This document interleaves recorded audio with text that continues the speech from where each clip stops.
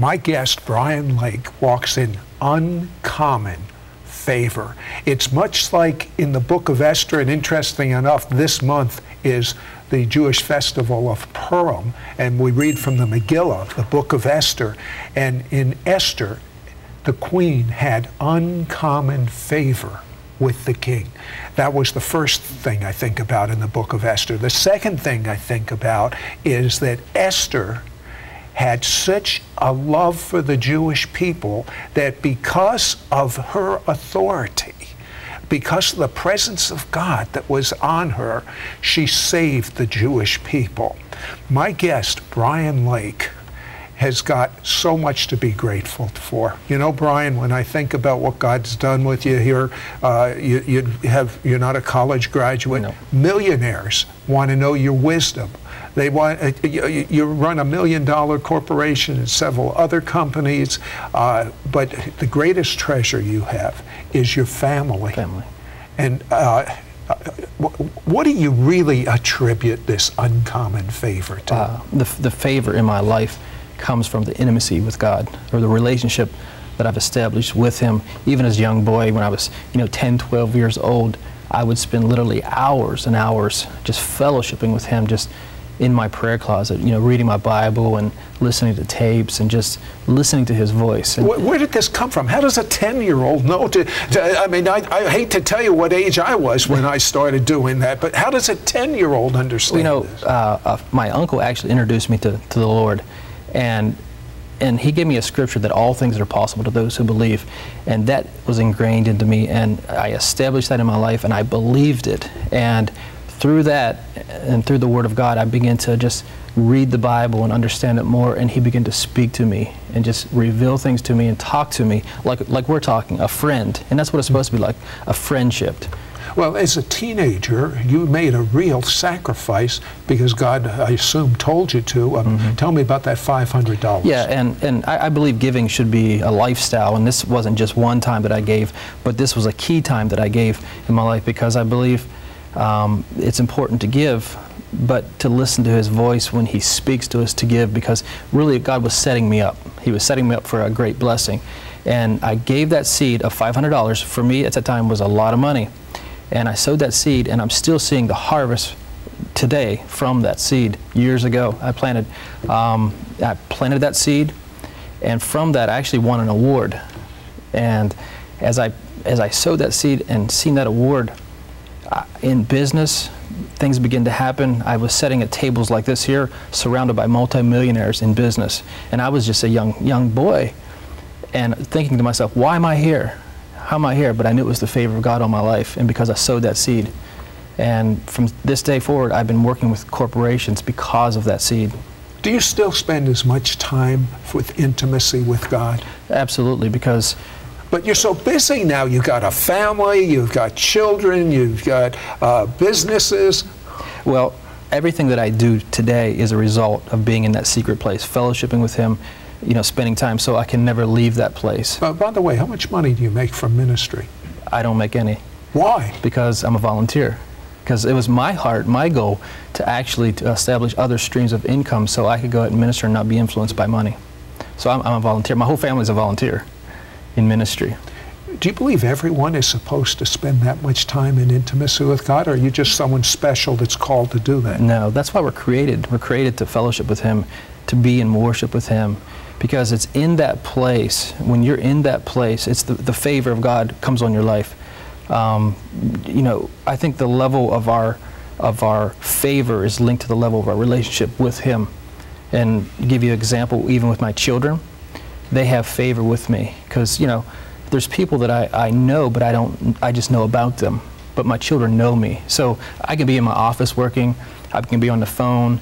Uh, in a meeting or whatever, my kids will come knock on the door and run in there. They have access to me because of the favor that we have. But if a stranger came to me and, and did the same thing, they wouldn't have that same access because of the favor. They don't have the same level of favor. You, you talk about that in your book, mm-hmm. Romancing the King. Mm-hmm. I love the title, but I believe that it's more than even your teaching. I believe there is a presence of God to Absolutely. launch someone from someone that has such intimacy mm-hmm. to launch other people into intimacy with God. Are people telling you that that's the effect this book's having oh, on them? And the message that that's me there. That's that's what I was birthed into. And that book is the purpose is to lead people into the presence of God into a place that many people may have not been into before into the deep you know inner chambers of the king's palace. Well when we come back I want Brian to tell you about the time the hand of God came to him that gave him the key for what is going on economically in the world today. Don't go away. We'll be right back We'll be right back to It's Supernatural.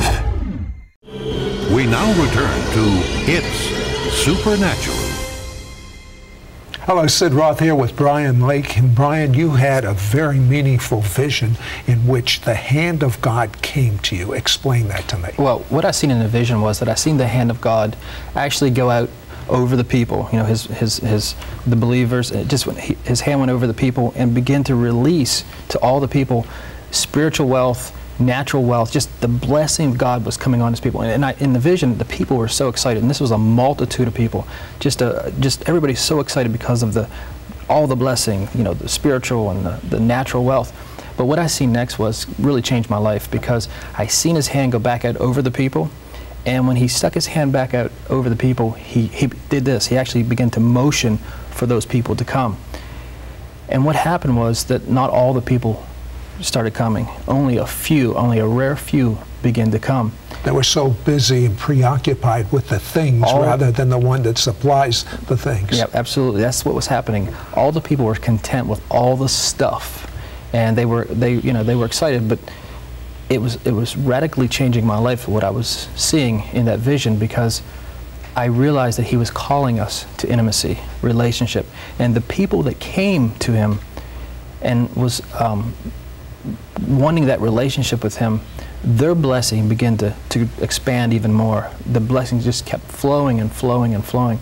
But the people that did not come, and I believe that's where we're at right now, that people that aren't in a relationship with him, their blessing began to dry up and it just time after time it just was drying up it's really sad because if mm. you really understood, uh, there is not a higher priority mm -mm. than intimacy with God. Now, you've had multiple visions of rooms. Explain. Yeah, I had a vision. It all started, I was in my office, I was on my typewriter typing, and my little dog was laying at my foot to the left side of me, and I was home alone, and I was typing, and all of a sudden I felt this presence enter my room.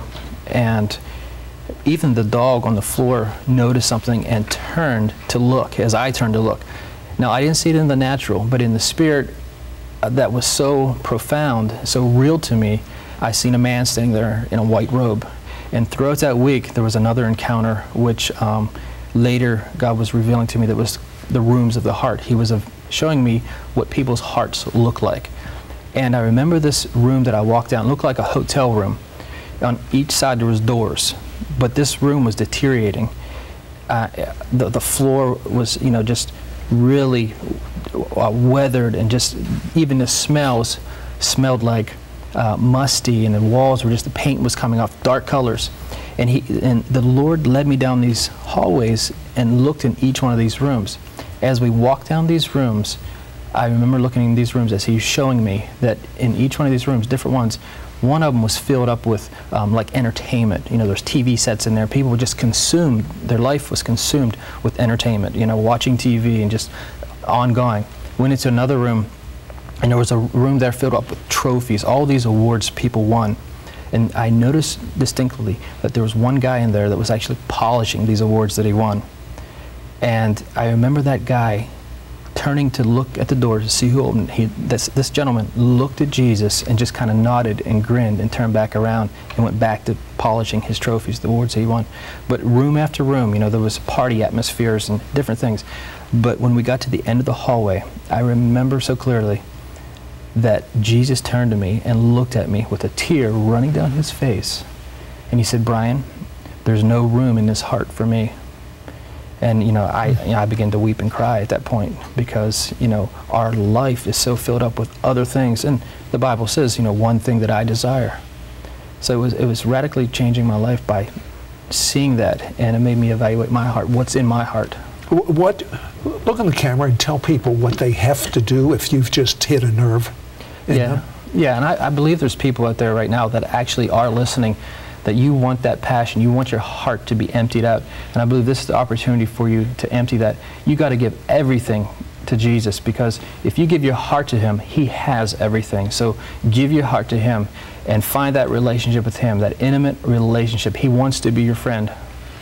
Do you know that uncommon favor that Brian walks in? You're going to see a demonstration of that and a demonstration of the miraculous when you meet his family. Every member of his family, every member moves in gifts of the Spirit, extraordinary words of knowledge, healing. Uh, perfume comes uh, when one of his children prays. It's the most amazing fa- family. Guess what? You can have that type of family too. Don't go away. We'll be right back. We'll be right back to It's Supernatural. We now return to It's Supernatural. I'm here with Brian and Pamela Lake, and when I say they are blessed, it doesn't matter what I say, it matters what you think. And I'm going to tell you something as you get to know their family. Uh, Brian, why did you decide that you'd have your whole family operate in the supernatural rather than you just go off and let them be homeschooled and like a lot of other people? Well, for one thing, is that I want to be with my family, and for me to leave my family behind, I just didn't want to do that. So it was easier for me to take my family with me and then train them up because it's my heart to train people up, equip people uh, into the ministry, into the giftings that God's called them into. Uh, Melanie, are you trying to help your dad with that microphone? How old are you? Four years old. Yeah. Well, Pamela, I'm, I'm very intrigued by your gift. You have an ability to put your hand on someone and feel their hurts. Do you, you know, when Jesus prayed for people, he had compassion. Tell me what goes on inside of you, or give me an exact case of someone you've prayed for. Yeah, I just, a lot of times I, even though on the outside they just seem like they're happy or, or whatever, and then whenever I lay hands on them, I can just feel their sadness or I can feel what they're feeling inside. And it's happened many, many times. And then I'll just pray for them, and then they'll just start feeling the presence of God, and they'll, they'll just get healed. They feel like it, they're melting all that stuff away. Well, I I feel the presence of God just as you're speaking. Uh, and you know what? God just told me someone's neck was just healed and someone's back was just healed. And in the head area, there's it's the sinuses are opening up. I, just as you were speaking, Yeah. it was like the presence of God came out of you. Tell me one actual person you prayed for and what happened. Um, we actually went to New York not too long ago, and there was a lady, and she had a, a little little boy, and we actually prayed for. I actually prayed for him, and I could feel the the anoint. I mean, the presence. And whenever I prayed for him, he had failure to thrive, and just I could feel the presence going into him. And then whenever whenever that happened, he just instantly got healed. And the mom called me later on, and the baby's like grown and he's 22 pounds and real chunky. He's got big old mm. legs and chunky cheeks and everything. So God just healed him. That's such a wonderful gift. And uh, Jordan, you amaze me. You just, you're almost like a machine gun with words of knowledge. How long has that been going on with you? As long as I can remember. Really? Like, how old were you when it started? Would you, can you remember? Like, would, uh, Brian, when he was two, did he do that? What do you think? Well, he was praying for people when he was two years old. He would run up and lay hands on people, and, you know, in the name of Jesus. And, and even, you know, when he was four years old, he was beginning to get words of knowledge. And Jordan, uh, you like to pray the fire of God on people. Uh, explain that to me. Well, pretty much um, they get touched, and whenever I say fire, um, people get delivered, people get set free, and pretty much just radically touched. the presence of God comes on them and their Yeah. lives get changed. Well, I'll tell you what, rather than you describe it, let's see a clip of, of uh, Jordan praying the fire of God. I just pray for the fire to be so strong in this place tonight. I command this place to be on fire for you tonight in the name of Jesus. I release the fire, fire, fire. And Molly, you move in gifts of healing. Tell me about that time that everyone could smell perfume when you prayed. Well, actually, I prayed for a nice lady who had an ear problem, and she came back to me and she said that she was healed. And then after I prayed for her, she could smell the aroma of God. It's I, that that's such an amazing thing to me. Uh, you work in what's called words of knowledge, also. Let's take a look at a clip of Molly praying for someone right now. I think God was telling me that you like to dance. And I just see God like releasing it even more on you. And he's gonna get you get you to teach other people how to dance and I see you like going in ministry like t- dancing and stuff. It's really awesome. Thank you. I'll just pray for you. Uh, Molly, how old are you? I'm 12 years old. And do you really enjoy praying for the sick?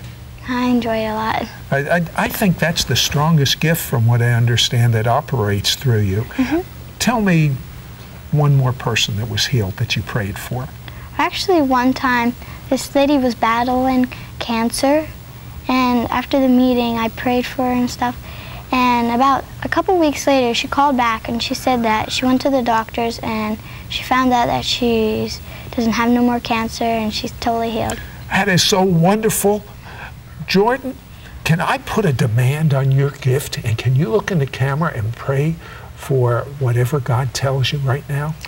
Right now, arthritis be healed right now in the name of Jesus. Diabetes be healed right now in the name of Jesus. Asthma be healed right now. Someone with a um, pain in their left shoulder be healed right now in the name of Jesus. Neck pain be healed right now in the name of Jesus. Back pain be healed right now in the name of Jesus. Molly, uh, has God shown you anything right now? Actually, I see someone with um, a shoulder also that has like damaged or something in work, and I just command healing over you, Lord Jesus. And I see someone with a head, like I think you have a head damage in your, and I just command complete healing. And I see someone else with a tumor, and we just command healing in Jesus' name. Is God showing anyone else anything right now? Yeah, there's somebody that has cancer. I knew it was you. there's a lady that has cancer. You've been battling this cancer for some time. And there's actually, I don't know if it's the same word Molly had, but there's lumps that you have that God is restoring. Even as we talk right now, those those there lumps are dissolving right now in the name of Jesus. There's also somebody that has their leg is actually shorter than the other, about a half an inch to an inch shorter. God's actually going to grow that leg out. Just stand up right now where you're at because it's growing right now. Have somebody check it right now. And everything you're watching right now comes out of one thing. Brian, what does it come out of? Intimacy with, with the Lord. Give me some nugget about intimacy with God. Sure. When we get born again, you know, it's more than just being born again. It's about the responsibility that comes with the relationship with Jesus.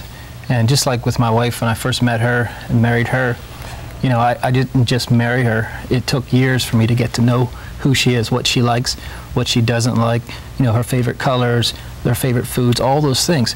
When we get born again and accept Jesus into our heart, we got to find out what the king likes. You know, what's his favorite color? You know, what's he loved to, you know, what grieves him, what makes him sad, what makes him happy. And you spend those years getting to know him out of that secret place, fellowshipping with him. You know, it's really interesting as, as either you or your wife speaks, the presence of God from intimacy with Him just kind of pours out. And as it pours out, I hear that God is healing people. I hear that someone with a neck pain, if you'll just move your head just like that, do that right now, you'll see the pain is gone. Someone with a backache, if you'll just go like this, you'll see that pain is gone. And someone in your whole head area, there's the migraine is gone. Any anything that you need. It's, any members of the family hearing anything from God? I, I was just hearing like depression that there's there's people out there that are suffering with depression and I just command it to leave right now in Jesus' name that depression to leave right now. And Molly, what are you hearing? I hear right now that someone either knocked their shoulder out of place and we just command it to be healed in Jesus' name.